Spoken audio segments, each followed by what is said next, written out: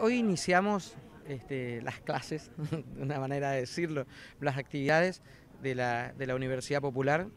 que la Universidad Popular es, un, es una institución del gobierno de la provincia que está bajo eh, el ala, si se quiere, de la vicegobernación. Es una escuela de oficios, una escuela de oficios que permite a muchos misioneros tener la posibilidad de acceder al aprendizaje de, diferentes este, materias, en este caso y acá este, con, instituciones, en este caso de carácter religioso, pero también lo hacemos con clubes, también lo hacemos con municipios, este, con asociaciones civiles,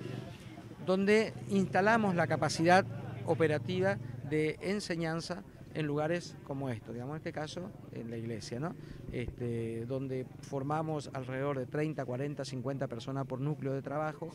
y que permite al cabo de tres o cuatro meses eh, que estas personas sean capacitadas y que sean capaces y que tengan la posibilidad de una salida laboral, pero a su vez también la posibilidad de, un aprendizaje que le permita resolver los problemas en su, en su, casa, en su domicilio, en su barrio, con su vecino, con su tío, con su primo, con su abuelo, con sus hijos. Así que es una, es una manera también que, de poner en manos de nuestra población eh, herramientas necesarias para la transformación de la sociedad eh, a través del conocimiento.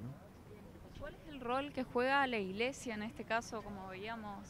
anteriormente? Y bueno, es muy importante porque es el lugar donde se genera la demanda, ¿no? Este, es un lugar donde las personas acuden muchas veces en búsqueda de como acuden en otros lugares, a los barrios también, en, los barrios, en, los clubes, en, diferentes lugares. Entonces, este, mueve esta inquietud, la inquietud que tienen de este, tratar de buscar la posibilidad de, incorporarlos a, diferentes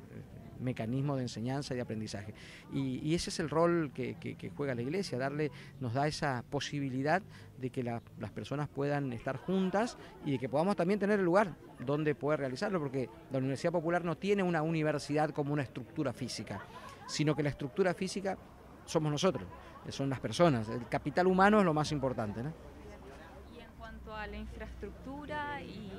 los insumos que necesitan, ¿van a estar trabajando?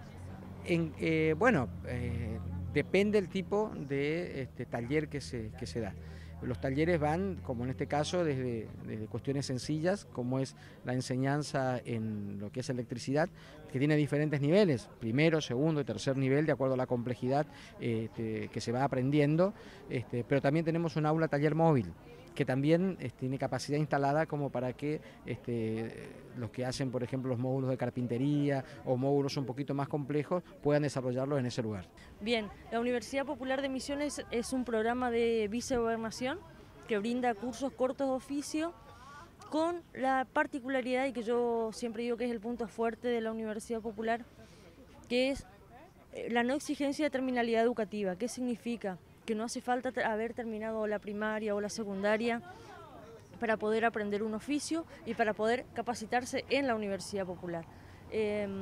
inicialmente nosotros pedíamos que sepan leer y escribir por, una,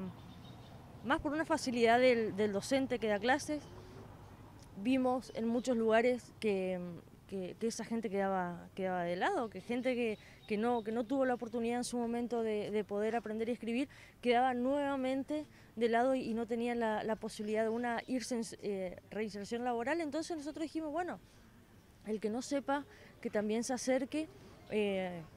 vemos, vemos cómo, cómo, articulamos, pero ya, ya la exigencia de, saber leer, y escribir ya, ya, no es una exigencia de la Universidad Popular. La, la idea original es capacitar en oficios a todos y darle la oportunidad a todos a que puedan acceder a una capacitación y a la, y no, si, no a una sola capacitación, nosotros tenemos más de 30, en este, en este caso tenemos em, creo que 34 oficios diferentes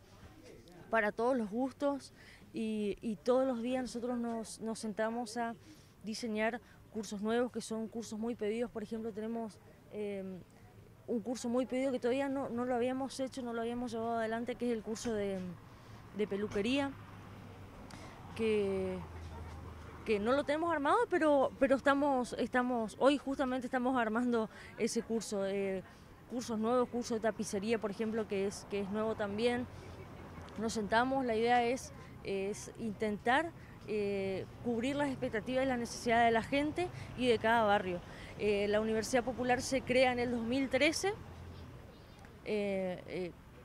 cuando estaba el gobernador como vicegobernador, Pasalacua, crea la Universidad Popular y bueno, y, fue creciendo desde, desde ese año, ¿sí? Hasta 2018. ¿Cuáles son las novedades para este año? Bueno, este año tuvimos, em, bueno, el año pasado ya eh, tuvimos la, suerte y, la alegría de que una decisión política hizo que el, presupuesto de la Universidad Popular, que es chiquitito, chiquitito, así como nuestro grupo de trabajo, que somos poquitos, eh, pero trabajamos un montón y hacemos que, que la plata valga, se estire. Eh, no hubo un, aumento de presupuesto hacia la Universidad Popular porque veníamos año a año eh, duplicando la cantidad de egresados del año anterior. Por decirte algo, en el 2016 tuvimos 600 egresados, en el 2017 tuvimos 800 y nos, parecía un montón, y el año pasado tuvimos 1800, o sea, eh, más que el doble y mm, esto se debe a una necesidad de la gente, la gente eh, es momento de crisis, en momento de crisis uno se arremanga y sale a, buscar todas las posibilidades y la Universidad Popular, aparte del punto fuerte, yo digo que de, no exigir terminalidad educativa,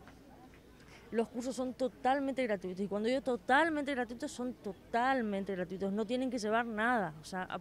hojas y, alguna virome para, para tomar algún apunte, pero por ejemplo el curso de de porcelana fría se le da la porcelana, el curso de, panadería se le da la harina, el o sea, no tienen que poner nada, porque también a veces es una limitación,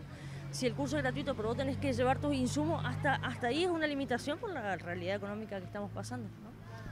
¿Cuál es la modalidad del curso que presentaron hoy sobre electricidad? Bien, hoy presentamos un curso que en nuestras sedes dura 24 clases, eh, dividido en dos veces por semana nos lleva tres meses. Ahora como están de vacaciones y eh, vacaciones digo de, la secundaria o de la primaria, muchos padres tienen más tiempo libre, entonces lo que decidimos es comprimirlo en, los días, hacer 15 encuentros de cuatro horas y media cada uno, va a ser como intenso, pero, pero está bueno porque, porque también pasa, y es una realidad, que cuando más largo sean los cursos, más gente se queda en el camino, si le sale un trabajo, ya deja de capacitarse. Entonces la, idea es comprimirlo, hacerlo rápido y que, y que todos puedan terminar.